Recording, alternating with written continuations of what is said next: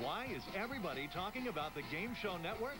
Because they love it. The prizes, the excitement. I love their faces. It's an adrenaline rush. I like to see people lose. Oh, it's really funny to watch them make fools of themselves. Stop the clock. I love the old celebrities. Mm. These are all real people. Boy, am I abnormal. Makes me feel wacky. I feel like I'm winning with them. Tune in to watch, play, and win on the all-new Game Show Network. I love to play games.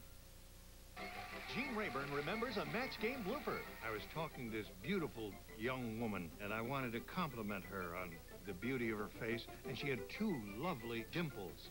Doesn't she have pretty nipples, uh, uh, pretty dimples there, Jim? I was just frozen. This lady has very pretty dimples in her cheeks, doesn't she? I got a check from some station in London saying we used your blooper. Get in on the fun. Watch Game Show Network. Betsy Palmer talks about the I've Got a Secret panel. Each of us had our own personal flavor. Henry was very sort of skeptical and all.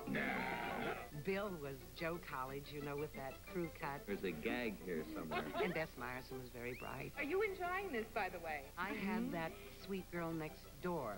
Betsy, I just saw the shot of you on the monitor. I have no clothes on. Get in on the fun.